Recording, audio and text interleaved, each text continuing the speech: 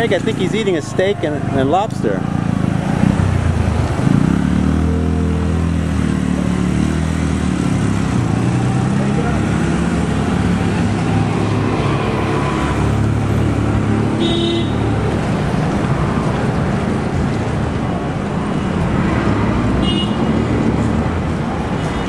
Hello.